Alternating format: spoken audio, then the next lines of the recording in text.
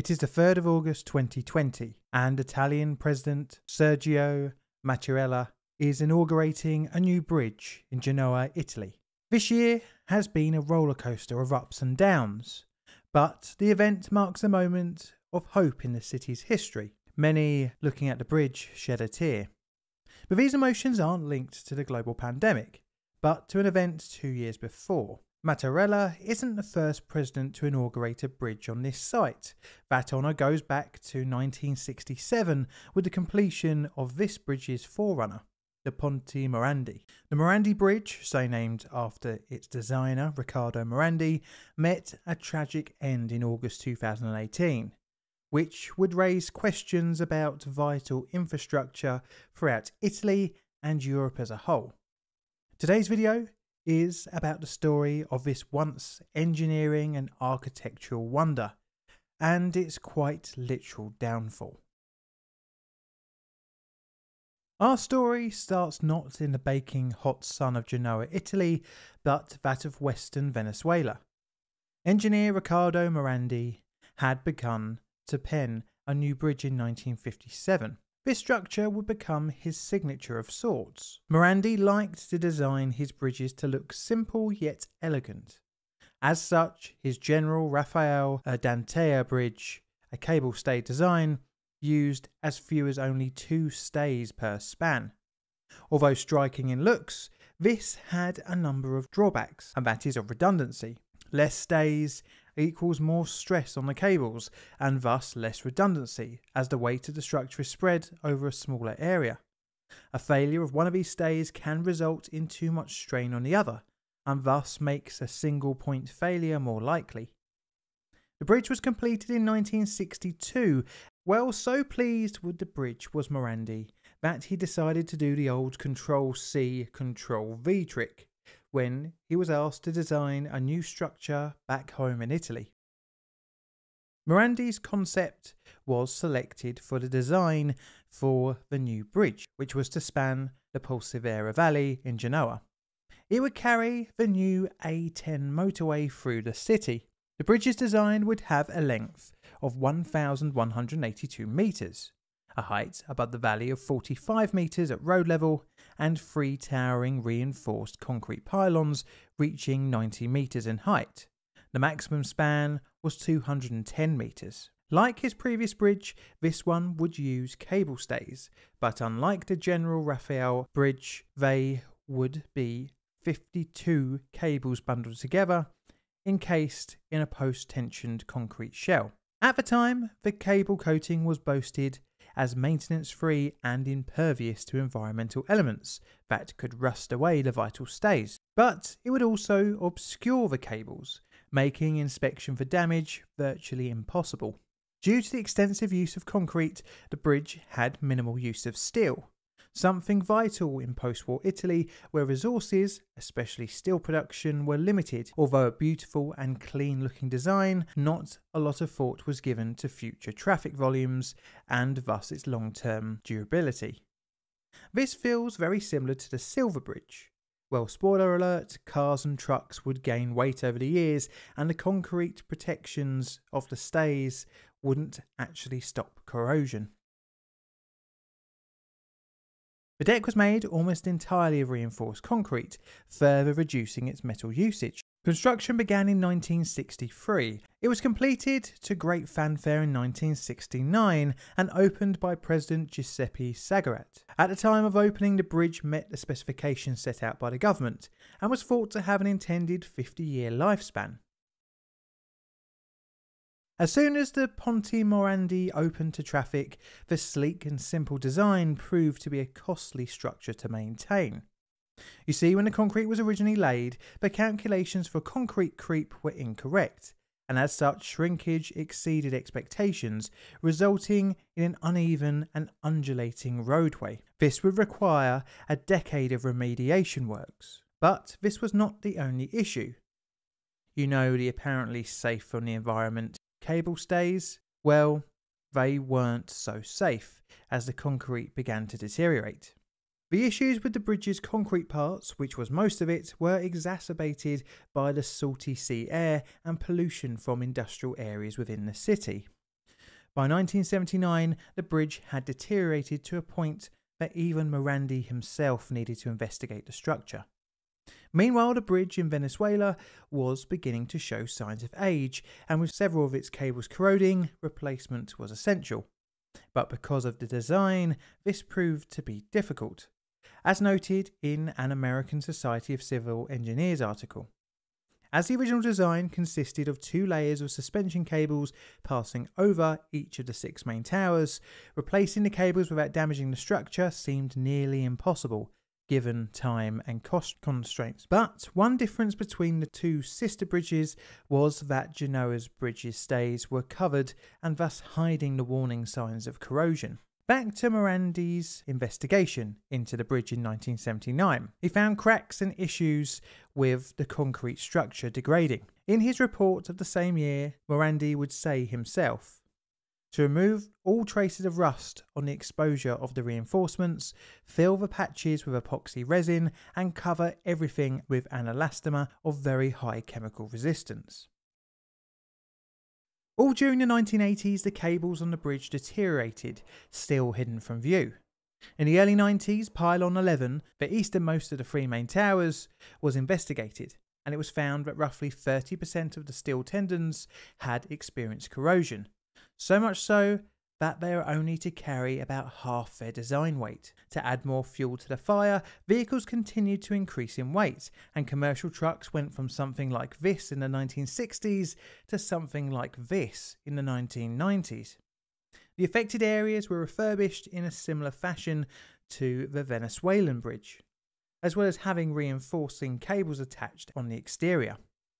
Pier 10 had the stays reinforced at the top, but this was the only remediation work on the troublesome steel cables. Autostrada per Italia took over management of the bridge in 1999, but no more work was undertaken on repairing the rusted out strands. As the new millennium came and the bridge was becoming increasingly congested, a new replacement was put on the books, but this would take time and, more importantly, money and thus the years ticked on, and the warnings over the structure's reliability continued to mount. Government officials were told that the Morandi Bridge needed maintenance. Autostrada commissioned a report into the condition of the bridge in October 2017 from Carmelo Gentile and Antonello Ruccolo of the Polytechnic University of Milan. Over four nights, Professor Gentile recorded the frequencies of the Morandi Bridge. A smooth waveform would hint at a healthy structure, but when he tested the stays on Tower 9, he heard something worrying. The findings of the university team hinted towards the stays rusting inside their concrete enclosures.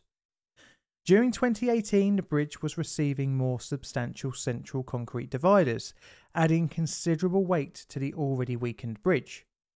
On the 3rd of May 2018, as the bridge was in its 51st year of existence, Autostrada announced a tender for structural upgrades of the viaduct with a cost of around 20 million euro. But this would be too late. It is the late morning of the 14th of August 2018, and cars are making their way across the Viadotto Polcevera. The day has been marred with torrential rain. At around 11:36 a.m., a 210 meter long section of the bridge around pylon 9 catastrophically and suddenly failed. Around 30 cars and 3 trucks were on the span that disappeared into the Polcevera Valley and Turin, Genoa and Milan Genoa railways below. The failure point as seen by CCTV and witnesses was the southern stays. 43 people were lost that morning, with many more injured and at least 13 more missing. Because the bridge navigated over and around residential areas, all property nearby was evacuated for fears of the remaining spans collapsing. But remarkably, the remaining sections remained.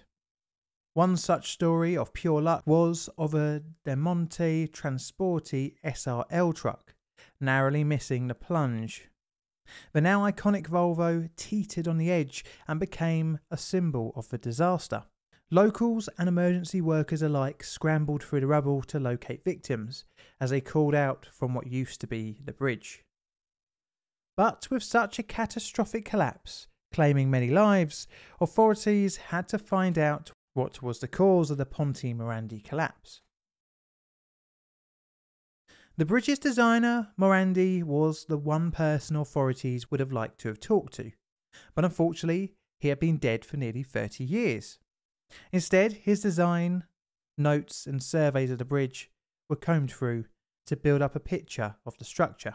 In a case of perfect timing, Riccardo Morandi's design lasted almost exactly 51 years to the day, hinting he knew how to build to the expected lifespan of 50 years. A design which, like many other striking, simplistic designs, looked beautiful in exchange for reduced redundancy and increased maintenance.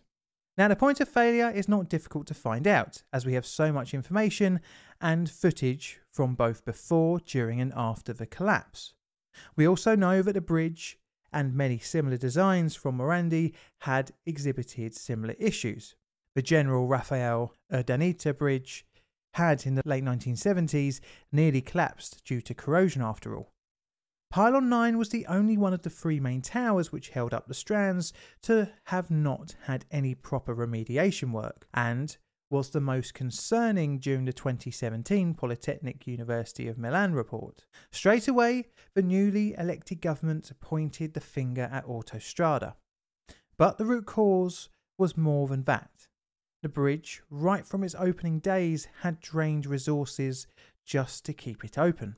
In the 467 page paper investigating the cause of the collapse, many theories were explored, including excessive winds, which was put forward by Autostrada. These were discounted, as most warning signs pointed towards the pesky concrete covered cable stays.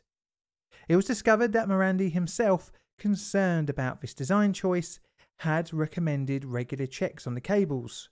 These checks were never undertaken. During the 90s, when the bridge was still under state control, the concrete's water resistance had come into question. These concerns were passed on to the private operator Autostrada, which was subsequently not investigated. Engineers had suggested annual maintenance and frequent inspections of the ageing bridge, but according to the official investigation, inspection did not come until 2012, nearly 20 years after the bridge's last proper overhaul which strengthened Tower 11 and parts of Tower 10. Funnily enough, the two that didn't fail. Such was the perceived negligence of the private operator that it would turn into a criminal case against 59 employees of Autostrada and its contractor, SPEA Engineering Company. We won't know the outcome of the trial yet, as at the time of working on this video, August 2022, it has only just begun. The city was in shock and the remains of the bridge acted as a grim headstone for those who were lost. But the tragedy would give way to pragmatism. There was the need of a crossing in the area, and as such, the decision to demolish the remains of the Ponte Morandi was made to make way for a new and hopefully safer crossing. The remains of the bridge was demolished in June 2019, and almost in record time a replacement was built. And that leads us back to the 3rd of August 2020, almost three years to the day, and the opening of the new Genoa St George Bridge. Costing 202 million euro, the bridge offers a new hope. But the issues concerning Italian and the wider European and UK communities' infrastructure still exist. You see, much like many other subjects this channel covers, it always boils down to money and the risks of underinvestment. All videos on the channel are Creative Commons Attribution Share Alike licensed. Plainly Difficult videos are produced by me in a currently swelteringly hot corner of southern London, UK.